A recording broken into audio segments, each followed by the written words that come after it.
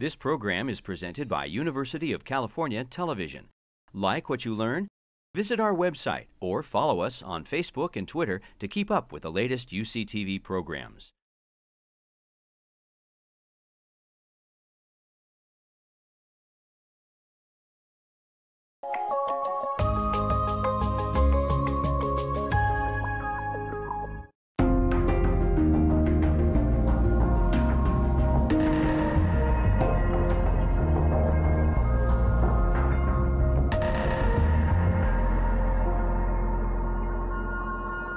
Good morning, everybody. Uh, good morning to our colleagues over at Santa Monica Hospital as well, who are uh, also observing this today. And this is the annual Gwen Hazen Cherry Family Stephen A. Feig Endowed Lectureship in Pediatric Cancer and Blood Diseases. And just a brief history on this it was in the 1950s that Marion Davies' gift allowed the building of the Marion Davies Children's Clinic which now houses the offices and research laboratories of the Children's Discovery and Innovation Institute. She approached Lita Hazen, who had lost a daughter to acute lymphoblastic leukemia, to fill in the shell of the A floor of the Marion Davies Children's Clinic as the Gwen Hazen Cherry Memorial Laboratory to be occupied by pediatric hematology oncology. Lita Hazen continued to donate to the division on a yearly basis through Art Moss. After his retirement, she continued to donate through Steve Feig. Ultimately, she brought her grandchildren, Allison and Adam, to contribute to the division. Although Lita passed away in the mid 90s, her other daughter, Cynthia, as well as Adam and Allison, contributed to the division on an ongoing basis. When Steve Feig retired in 2005, the family endowed this lectureship in honor of Steve Feig and Gwen Hazen Cherry. Over the years, the family has donated a total of more than $4 million to UCLA. We're grateful for their sustained support of children's cancer research over the years and the impact that this has made on the survival of children with cancer. We are also thankful for the contributions of Dr. Steve Feig as a leader, researcher, educator, and role model. So this year, for the 2014 Gwen Hazen Cherry Stephen A. Feig Distinguished Lectureship, we are very, very privileged to have Susan Shurin, who is the Deputy Director of the National Heart, Lung, Blood Institute, with us today. When we look at Dr. Shurin's CV, we see a life which is rich of accomplishment and services to others. Her undergraduate work was completed at Harvard, followed by her medical degree from Johns Hopkins.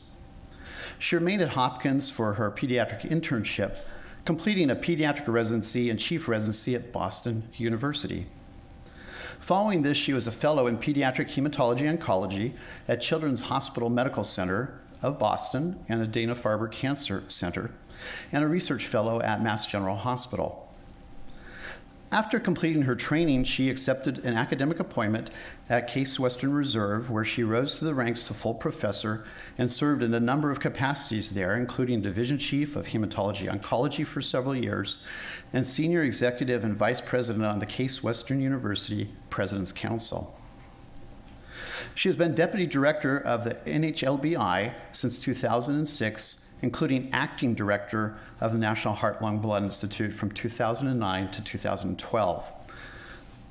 If you see her CV, you would know that I could easily spend the rest of this hour describing the many activities that she has been involved in, and within those roles, as well as her many accomplishments. Let me suffice it to say that she has been a tireless advocate for children and the importance of training a new generation of medical scholars.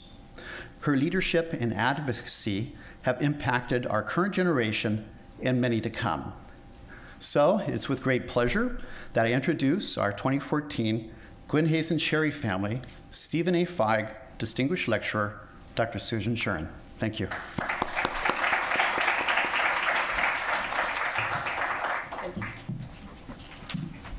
Thank you very much, Ted. Uh, it's a uh, tremendous pleasure and uh, honor to be here. I have to figure out how to advance this. Okay. Um, and uh, I've had an absolutely wonderful week having a chance to meet with the faculty and with fellows and am just really impressed with the, the quality of the work that's going, uh, that's going on here. Um, I have to give you my declarations of interest. I work for the uh, for the federal government. I'm actually not allowed to have any conflicting financial interests. Uh, my friend Alan Guttmacher, who's the director of the uh, National Institute of Child Health and Human Development, has an introductory slide which shows a picture of Leavenworth, which is where he says he would be if he had any conflicting interests. I mean, that may be an overstatement. Uh, but I do have to tell you that my comments do not necessarily reflect the views of the U.S. government. And I'm very honored to be invited uh, to give the Gwen Hazen Cherry Stephen Feig uh, MD lecture. Steve and I have known each other since um, the late 1970s. Steve trained in the program in Boston a, few years ahead of me, and actually had uh, had come out here by the time I started. But I got to know him through alumni events and also through the Children's Cancer Group, in which we were both working. And it's been a pleasure to have known uh, Steve and his wife Judy over uh, over many decades, and to be able to consider both of them very good friends. What I'd like to talk about today uh, are sort of a, a, number of topics in terms of where pediatric research and pediatric academics, uh, sort of part of where it's coming from, but also a lot of where it's where it's going, and the importance uh, and the role of, of research and of pediatric investigators in, in, in, continuing advances. Talk a little bit about the current, uh, the nature of support for pediatric research, um, and some of the things which I think are particularly important for pediatric academicians and pediatricians in general to really keep in mind in terms of ensuring that the needs of the next generation remain uh, high on the uh, priority list for, uh, for, for public investment and a little bit about making the most of some of the opportunities because even though things are rather difficult right now, one of the things that's particularly exciting is that there have really never been more opportunities in science and in health than there are right now. So where, where have we come from? Uh, I think it's really important to keep some of these things uh, in mind because over the last century, we've made tremendous progress. If you look uh, at, the, uh, at the beginning of the 20th century, uh, there were 200 uh, deaths per 100,000 births in in the first year. The major causes of those deaths were infection, trauma, and nutrition. These were, were huge public health problems. And over the course of, of the last century, uh, there were a tremendous number of advances between the two world wars. There were a lot of advances in hygiene, uh, which made a big difference in terms of, of, of uh, childhood deaths. World War II, uh, among other things, led to the development of penicillin, which had actually been discovered uh, and was actually published in 1929, but didn't get developed for uh, human use until first the Brits and then the U.S. government uh, developed penicillin to um, to use for in in the war to use for for soldiers. And then in the period after the Second World War, a huge explosion of findings in health that have, have had a massive impact. Uh, this includes vaccines, the development of oral rehydration therapy. Uh, at the, uh, just as we were going into the 60s, the, the UN really got into the game with the UN Declaration of the Rights of the Child. And then tremendous advances in genetics, where I'm not in, I shouldn't have indicated that it actually ends in 2010, it doesn't um, neonatal and oncology care, and the emergence of some new problems uh, obesity, type 2 diabetes. In most of my practice, I never saw a child with type 2 diabetes. Um, and so now we have a situation in which there are, in this country, 6.8 deaths in the fir- per 100,000 births in the first year. Obviously, a tremendous improvement over the 200 at the, uh, at the turn of the last century. Uh, trauma is still a problem, but not anything like the problem uh, that, it, that it was a century ago. The problems in nutrition are different, and many of the issues that, uh, that plague us relate to chronic disease rather than acute infectious disease, although none of those have exactly gone away. So how did we get there? That's a, that's a lot of progress uh, over uh, over a century. It's a whole lot more progress than had been made in uh, in the 2,000 years before that. Um, how do we learn what we know? And the key issue that I'd like to sort of emphasize is that most, virtually all of these advances in public health come because of research, which was then implemented uh, in both in terms of medical practice, but also uh, in, in many in many public health settings. This is based on a lot of very careful observational and ep epidemiologic research a lot of very, very elegant basic science research the development of animal models, careful clinical observation, particularly in pediatrics where we have experiments of nature uh, and you learn something about normal function when people are born with problems uh, in which those, those normal functions don't occur. Uh, that's been the, the origin of, of a lot of advance, advances some well done investigator initiated clinical trials. People see what the clinical problems are, put together uh, studies to actually address some of these questions and advance the field a tremendous amount of collaboration between epidemiologists, basic scientists, and clinicians. It's hard to overemphasize the extent to which advances made by any one of those groups is dependent upon uh, advances that are, are made by others. And then a huge number of technical advances. Uh, the um, uh, the technology to answer questions more easily, more effectively, more quickly uh, has been very important in terms of our ability to make some of these advances. You can see the tremendous drop, this is not over the last century, but over the last half century in infant mortality. Uh, infant, neonatal, and postnatal mortality, all of them having, having dropped very considerably. Um, this is infant mortality rates from respiratory distress syndrome. You can see a tremendous change. This is just since, the since 1980. And a lot of this, most of this represents, it's certainly not a, not a, uh, not, not a lower rate of, of, prematurity. In fact, children are now surviving who never would have survived when, uh, when, I, was, when I was starting in, in pediatrics.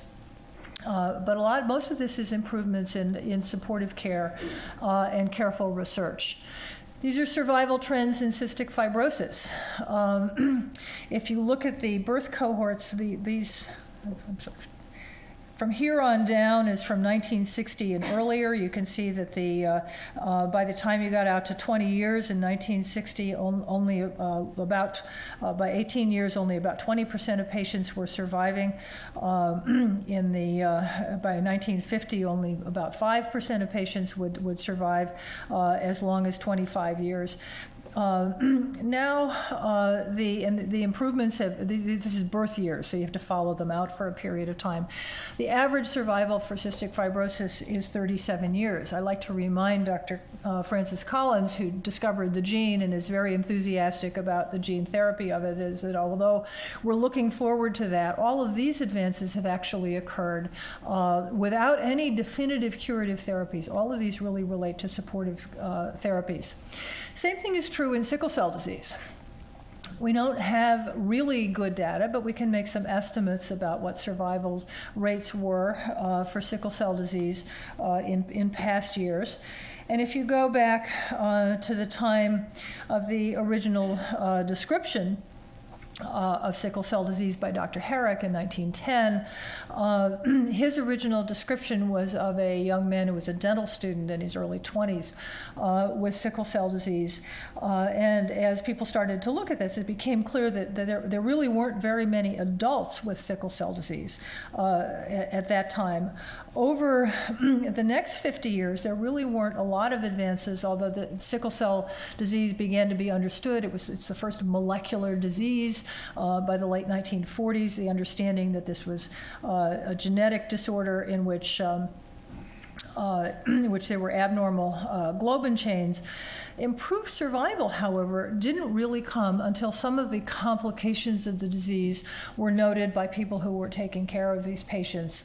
The risk of death from sepsis, the availability of penicillin, uh, and then the availability uh, a little bit later uh, of pneumococcal vaccine and other vaccines really made a huge impact. So the National Sickle Cell Act was passed in 1972.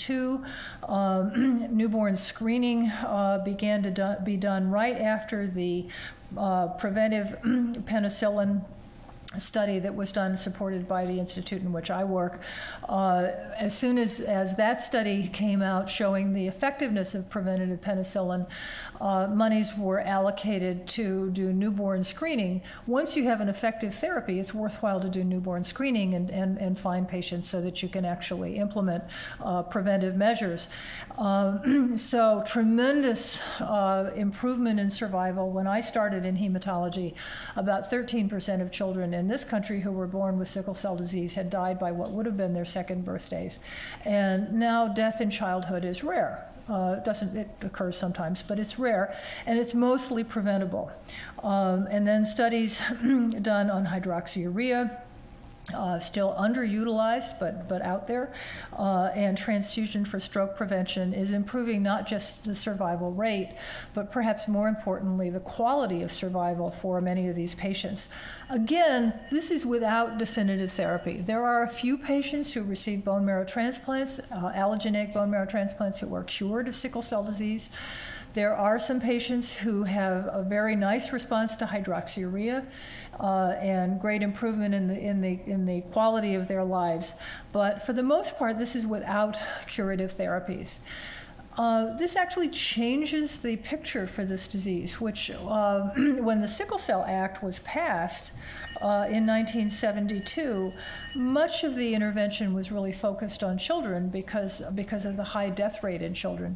Now, what we have is a situation in which most of the people who have sickle cell disease in this country uh, are adults, and many of them live with a very high burden of disease. And so, definitive and curative therapies with the availability, uh, potential availability of gene therapy uh, and broader application uh, with a better understanding of bone marrow transplant um, is, is really urgent to have, we need to have some understanding to make some advances here uh, because there are a lot of people who can potentially benefit tremendous improvement in mortality for pediatric cancers. I don't need to emphasize this to this group. I think people here are well aware of the fact that for uh, children with acute lymphoblastic leukemia, um, the uh, uh, mortality rates were extremely high, uh, really very recently within you know the memory of, of many of us, uh, and now a situation in which uh, almost 90% of patients overall uh, considerable improvements in many other in the survival rates for many other tumors. A lot of opportunity, particularly in some of the sarcomas and in central nervous systems. So we've come a long way. Uh, but I think if anybody uh, would, I, I, I, haven't heard anybody proposing that we rest on our laurels saying, okay, we've made enough progress, we can all just go home now. Uh, that's not the way it happens. Uh, much of this research that I just talked about uh, has been supported by the NIH. There are others that, that are supporting it as well. These are public funds supporting research, and I'll come back to that in a moment. However, we have a, a, number of problems that come. I've mentioned a couple of them. Um, we have better survival rates for childhood cancer, but we have in a couple of areas evidence that pediatric cancer incidence rates uh, are actually increasing, particularly for uh, ALL, some lymphomas. Uh, and brain and central nervous system. We don't understand this. Uh, we don't know why it's happening, but it's a very big concern obesity, a huge issue uh, for the future, for, for our children now and for, uh, for future health. Uh, and although there, there's a lot of attention to this and some hope that some of the programs that are now in place will actually uh, make a difference, we now have problems in terms of, uh, in terms of children who are extremely young, uh, with significant rates of obesity uh, in, in very young children. Uh, and those kids who are obese early in life don't tend ever to get thin again. Uh, and so we really need to pay a lot of attention to that. Autism. Uh, I'm sure all of you are well aware of what seems to be a very dramatic increase in the incidence of, of autism. Um, some of the increase in numbers uh, has to do with sort of recategorizing uh, kids as having developed pervasive developmental disorders. Um, who were previously categorized primarily as having mental retardation uh, or other diagnoses. Uh, some of it is uh, greater awareness. Some of it seems to relate to the fact that the risk of autism is higher if the, if the parents, particularly if the father, uh, is older, and that may account for some of the increase. Uh, but we also have a, has a situation in which the overwhelming majority of the components of the increase in, in rates of autism are completely un, not understood. We don't know why this is. Um, so there's a huge amount of emphasis that's being put on this right now. The reason I'm cutting across the spectrum for lots of different disorders is that all of these, these areas are supported by a lot of work uh, at the NIH, and I wanted to talk a little bit about where that money is both coming from and going. First of all, money, the funds at the National Institutes of Health are uh, allocated, appropriated by Congress uh, on a year to year basis. Uh, that makes life very difficult because we have absolutely no idea each year what we're going to have. We used to have a better idea because usually there was at least a small increase every year. So if you had $30 billion last year, you could pretty well count on having $30 billion next year. You might not have more, but you wouldn't have less. That hasn't been true recently most of the funds that come to the National Institutes of Health do not stay there. Um, so uh, the, the budget in, uh, in fiscal year 2012 uh, was 30.9 billion. It's a little bit less last year. Uh, about 11% of that is spent on the NIH campus. Uh, but the overwhelming majority of it is spent outside the NIH in extramural grants, uh, contracts, and training. So it comes into Bethesda, which is the little star in there somewhere. There we go. And our job is to ship it out. Uh, and uh, what we've the, the, one of the big challenges that we have right now is that with the, uh, the, the current funding situation and many of the discussions that are going on in Washington, uh, our actual purchasing power uh, has decreased. So if you look at the NIH budget in terms of appropriated dollars, okay, that's that's the blue bar. Uh, you, you, can see that it sort of went up relatively steadily. In 1998 was the beginning of the doubling of the NIH budget. That went through 2003, so you see this big bump here. And the appropriation in terms of buying power, that's constant dollars. okay, so it was going up rather steadily abruptly increased and doubled uh, over that period between 1998 and, and 2003. And then as the, the current dollars have sort of flattened, but inflation has continued, and particularly, even though the overall rate of inflation may not increase very much, the increase in rate and inflation in research um, uh, costs, which is called BRDPI, uh, increases usually at about 5% a year.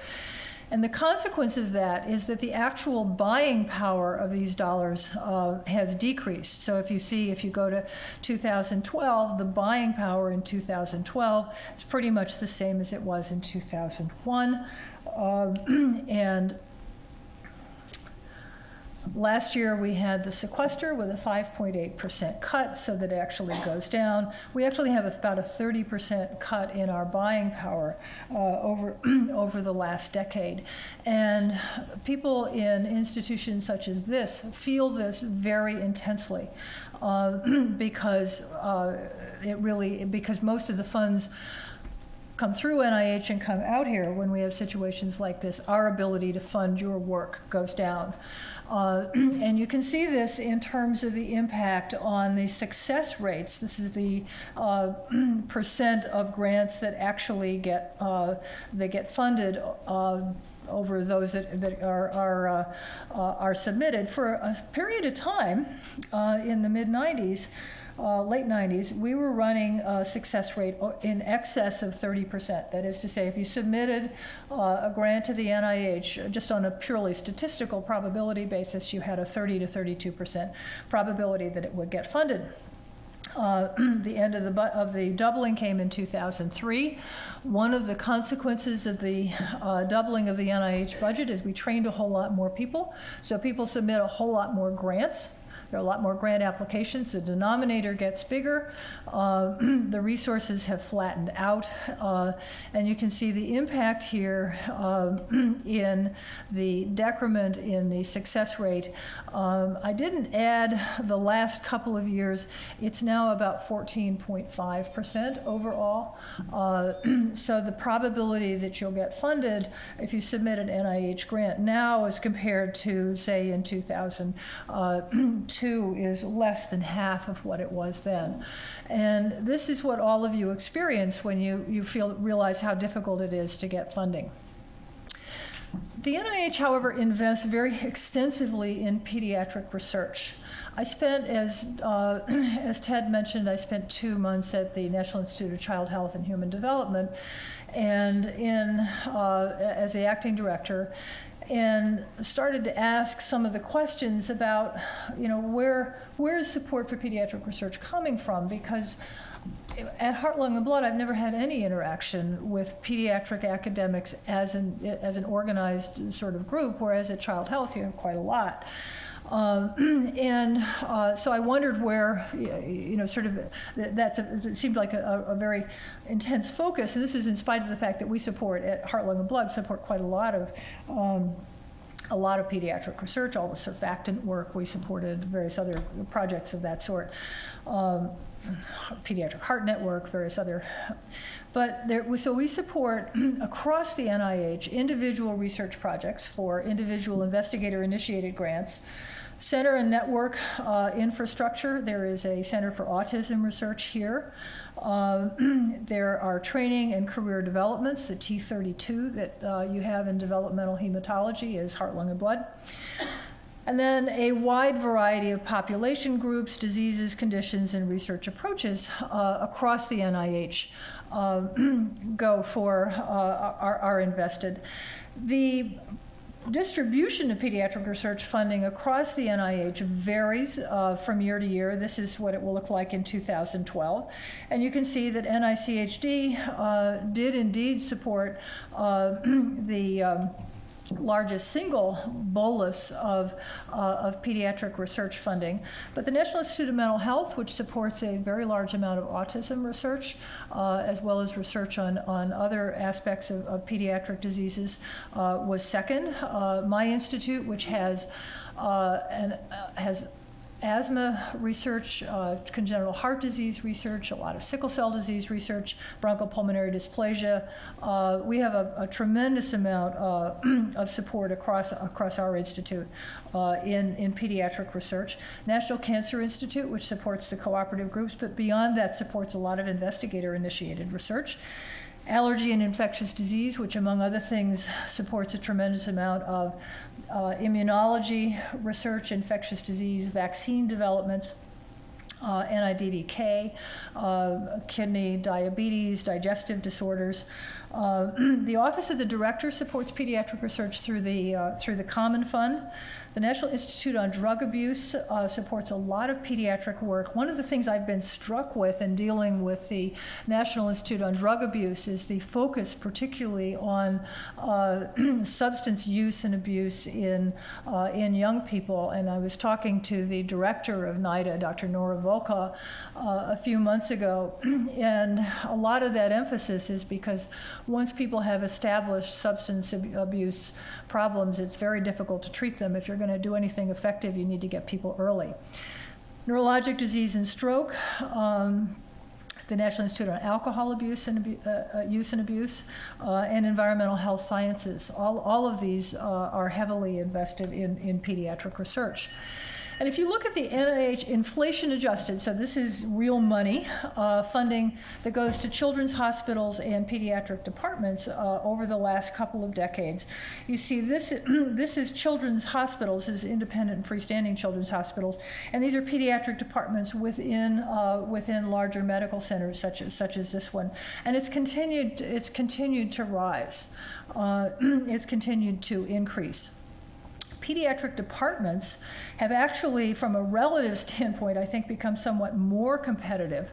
Uh, this is looking at the NIH grant success rates by medical school departments. And if you go back here to 2001, uh, pediatrics was, uh, was pretty much even with medicine, with some of the basic science departments doing better. And if you follow this now and, and over the last several years, and this has been holding in, in more recent years as well, uh, the success rate isn't great great, but pediatrics is holding its own. It's doing as well as anybody else. Uh, the reason I mention this is sometimes I get the, you know, sort of, you know, we're, we're, nobody's, you know, nobody values us. We're not getting our fair share. Nobody's getting their fair share. So I think that it's a, it's a really important, uh, and it's important to understand that pediatrics is not only not disadvantaged in some areas, it, it seems to actually be doing quite well in very difficult circumstances. So, this is a big problem, not just for all of you whose careers uh, are dedicated to uh, improving health and making progress for the next generation. It's also decreasing. Um, our global competitive, competitiveness.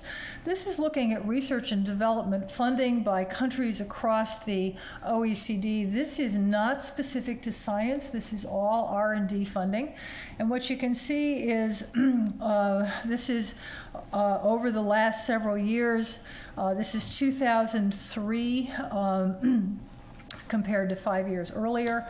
Uh, and you see that there's a, about a 5% decrease in the United States with a 15% increase uh, in China in terms of investment in R&D.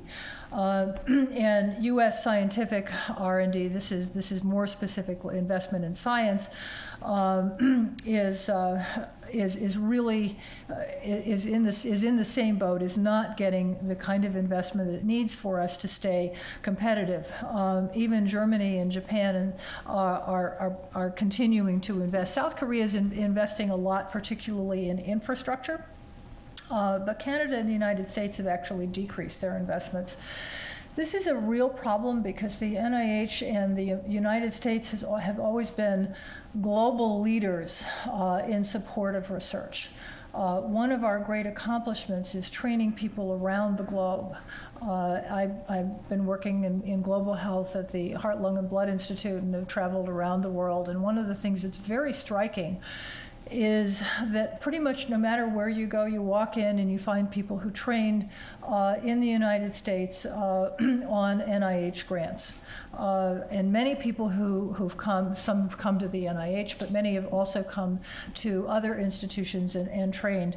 Uh, and they now have opportunities at home that they didn't used to have. We're all seeing, and I think everybody knows about this. In fact, I'm seeing the uh, innovation uh, program that's being developed here, the Pediatric Innovation Program. I think you're having a conference on this in the in the very near future that the uh, discovery and development pipelines for drugs and devices is, uh, as we know, in significant difficulty. Um, there's basic research and discovery that has to be then validated. Uh, we had a meeting with a bunch of uh, leaders of pharmaceutical companies, and they said, please don't give us any more targets, no more targets. All we want are validated targets. We want to know that if you actually hit that target, you're going to get where you want to go. These are this is a challenge. Um, these then turn into clinical trials and get commercialized. Uh, my institute has actually had the tremendous advantage of, of being of working in areas where industry's been very active. Uh, we supported the Framingham Heart Study, which uh, showed that lipid, elevated lipids and hypertension uh, were risk factors for heart disease. we supported the basic science on control of blood pressure and, uh, and on, on lipid metabolism, but it was Merck that developed statins, not us. We had no, no role in, in that piece of it other than supporting all of the basic work and training the people who did that work uh, in the NIH intramural program. The performance sites used to go, it used to go pretty much directly from the research performing institutions, places like UCLA, uh, into R&D companies and then into manufacturing funded beginning by federal and state research and development and later by private funds. Uh, what's happened is that people have become much more risk averse. Uh, and it's because the uh, cost of these investments has gone up so much and the return on investment is a lot lower than it used to be. So, one of the things that we're trying to do is to create some partnerships and collaborations uh, to help that along. Uh, we fund a, an, an, activity called the Centers for Accelerated Innovation, and UCLA has one of them. In fact, all of the UC system is part. We have three grants out. It's all of Boston, all of Ohio, and the UC system. Um, so this is going on here, uh, in which the um, the senior folks who are running this program are trying to find promising developments and help people. So we, we get people who have the expertise to, uh, to get across this gap, give people some of the skills that they need, and lower the risk. Uh, we also have been uh, putting a lot of investment, we, we have a lot of investment in small business innovation uh, research grants, uh, which we're actually mandated to do by Congress. We're trying very hard to ensure that, uh, that this is developing areas that we think are, are major opportunities and we sort of decided uh, there's one advantage to being the director of the institute is you get to make these decisions. Okay, that pediatrics represented a vulnerable and underserved population. So we have a lot of SBIR initiatives out right now in pediatrics. This is one which we're jointly uh, supporting with the National Institute of Child Health and Human Development on safe and effective instruments and devices for use in the NICU. Uh, we have one on field devices for the diagnosis, non-invasive diagnosis of sickle cell disease that could be used in, uh, in sub-Saharan Africa. We have uh, a number of, of, projects for things like uh, coils for MRI scanners to be able to get better imaging on small people. The, pediatric, the challenges and opportunities in pediatric research sort of go together. Small sample sizes make collaboration vital. Uh, this has actually tended to work pretty well in, pediatri- in pediatrics because pediatricians tend to be pretty collaborative. Um, there are a lot of rare diseases uh, which are inherently hard to study. Um, congenital heart defects, mitochondrial diseases, a, a whole list of these. Uh, we all know the problems with hand me down medications really not being optimal and research careers have become harder, harder to pursue. Uh, what we find is that having diversification of, of funding uh, is, is often helpful. The cardiologists have other ways of making money to support a significant amount of their research. On the other hand, that significant amount of money by, uh, by doing invasive procedures also makes it sometimes harder for them to make the decision to continue to pursue research. So we think there are a number of opportunities that are really exciting, and one of the ones that is I think particularly exciting uh, from, uh, from our standpoint are the developmental origins of health and disease. The extent to which, if you have cardiovascular disease or hypertension uh, when you're an adult, it, its origins actually have to do with in utero exposures, with um, maternal deprivation, with the extent to which your grandmother may have not have been. Adequately nourished. Uh, the advances in genomics uh, have been tremendous, particularly because many, uh, most Mendelian diseases present in childhood, and even some of the complex diseases with genetic origin present early in life. Wide sharing of the data makes it much easier to access these, this information and actually turn it into usable, uh, usable knowledge. The microbiome uh, we think has tremendous opportunities uh, in terms of understanding disease. It clearly is important uh, in many different in many different ways. We're just beginning to get into this area, uh, and understanding it in many ways, but particularly in pediatrics, we think is going to be very important.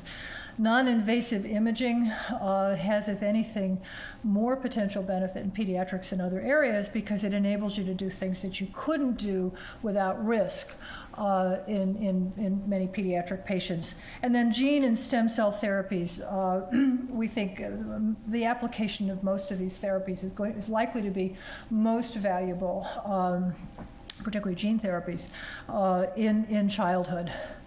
And if you look at, again, you know, knowing, I mean, went over some of the ways in which research findings have implicated, have impacted the public health uh, in pediatrics. The same thing has actually been true in adult medicine in some areas. This is looking at, this is from the New York Times about a couple months ago, improved survival from cardiovascular disease. This is the heart disease death rate uh, from 1958 uh, through 2010. This is age adjusted. People are still dying of heart attacks, but if they're dying of heart attacks at 80, uh, instead of 35.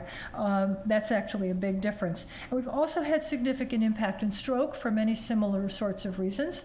Um, so, but what it means is that we have considerable improvement uh, in, in, in the health of people from the standpoint of heart disease and stroke, in spite of the fact that these things continue to be uh, major problems. The point of this article was that things haven't improved much in cancer.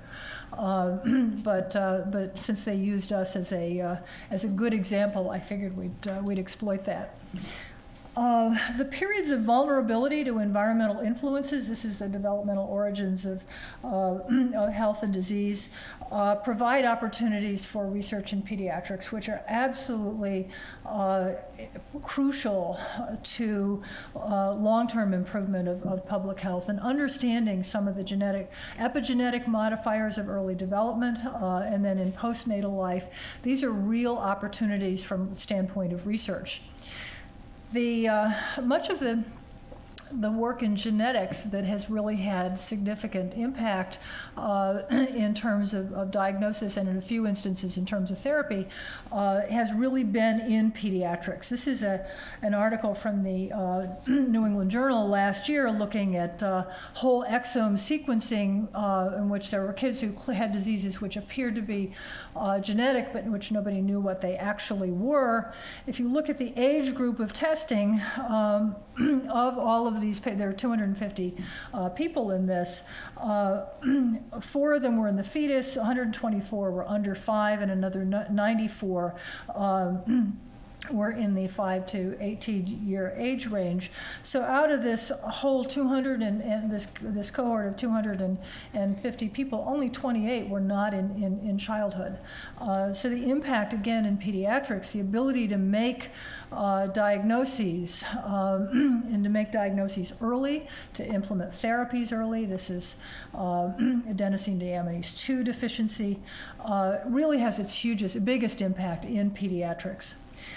We've got a, uh, a, what we call a bench to bassinet program for congenital heart disease, and it's got three components. It's got a pediatric heart network, which actually does clinical trials. Um, it's got a genomics component, then it's got another basic science component.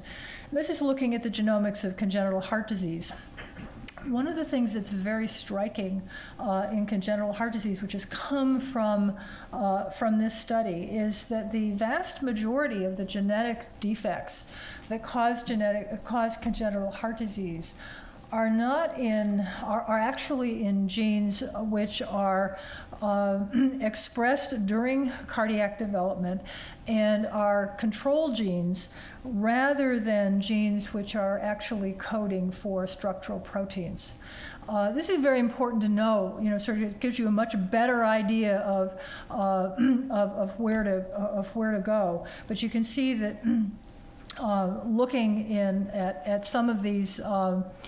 Uh, in con congenital heart disease compared to controls, if they're, if they're expressed in, to a, a, very large extent uh, in the heart uh, during early development, um, you see a much greater odds ratio that you're going you're gonna find something in there. Um, this is this is a this tends to present in adulthood, but it's findable in childhood, and it probably needs to be intervened in in childhood, uh, which is, is uh, familial uh, hypercholesterolemia. Uh, there's some new drugs that are coming out uh, which inhibit PCSK9. It's a very interesting story. Uh, in some of our cohorts, we have, we have the Framingham Heart Study, Jackson, ARIC, we have a number of these studies we found that there were a number of people who had hypertension, they were obese, they had other risk factors, but they had extremely low levels of LDL. And uh, looked at a number of those people and found that they had mutations in a gene called PCSK9. Uh, this probably because they have very low LDL their whole lives, so this starts in childhood. Um, have an, they seem to be really powerfully protected against uh, against the development of, of atherosclerosis.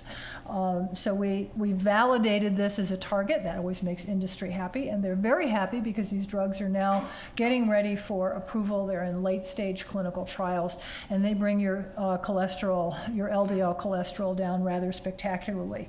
This is a genetic abnormality which occurs, uh, or a genetic finding, I should say, since it seems to be protective against disease, it's hard to call it an abnormality, which is seen primarily in people of, of African American uh, heritage.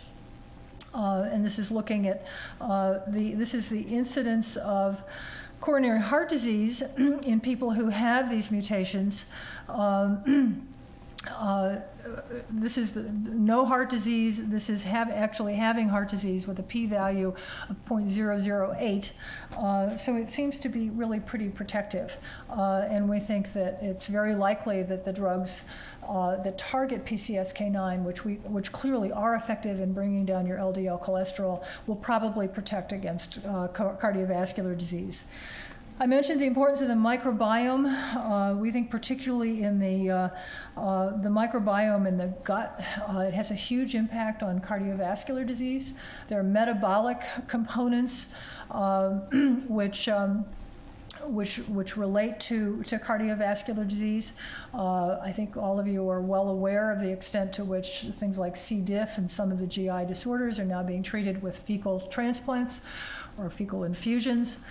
Um, it turns out that if you eat meat, you have a radically different microbiome than if you're a vegetarian, and that the uh, metabolic consequences of that may be very important in terms of the development of heart disease.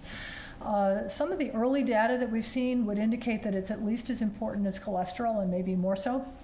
Uh, and it has to do with the bacteria which metabolize, uh, which produce carnitine, uh, which is, is uh, it's related to metabolism of, of components of meat.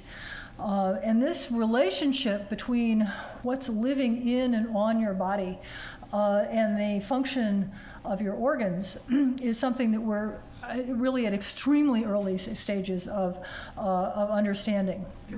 Uh, but it appears that the gut microbiome and the, the bacteria, the metabolic projects, uh, products have a big influence on inflammation. They have a big influence on atherosclerosis, and it appears that they significantly impact the development of obesity. There may be uh, microbiome patterns which are actually protective uh, against obesity. And as I say, we're still in a fairly early stage in terms of understanding a lot of this, but it looks like it's very important. Uh, we have a, uh, as I say, we've got a lot of work going on in congenital heart disease. Uh, the NIH campus is not a great place to take care of newborn babies. We don't have many of the facilities that we need to. So we placed a, an interventional MRI scanner uh, at DC Children's Hospital, which is across town. This is a public private partnership. Um, and we're joining our cardiac imaging expertise, which is extraordinary, uh, with the with Children's Hospital clinical care. So they're actually able to do a, a great job of taking care of the patients. Um, and as I said, we're developing some tools and technology optimized for the pediatric patient, bringing in some private, uh, or trying to develop uh, some, some private money, particularly stimulating that with SBIR investments. Uh, and trying to make sure that children are as well served as adults. Uh, this is some imaging, the studies that have come out of that partnership, looking at the development of white matter uh, in the brains of kids with congenital heart disease. This is, this is in utero. So what you can see is that kids who uh, have congenital heart disease actually have evidence of problems with brain development uh, starting about at, at 32 weeks. Uh, so this is you know well before they're born. Um, this is hypoplastic left heart, so this is this is serious congenital heart disease. Um, but uh, we're you know clearly there are problems that are associated in terms of brain development that have uh, a lot to do. Uh, we're not sure what the what the initial origin of this of this is, but this again is going to require uh, a lot of further work. So we see many opportunities um, as with, with in, in all of these areas. We're eager to support a lot of this work in partnership with you. We uh, uh are excited to see all the. Th I'm certainly excited to see all the things that are going on here, and uh, again, want to thank you for the invitation to speak, and I'm happy to address questions.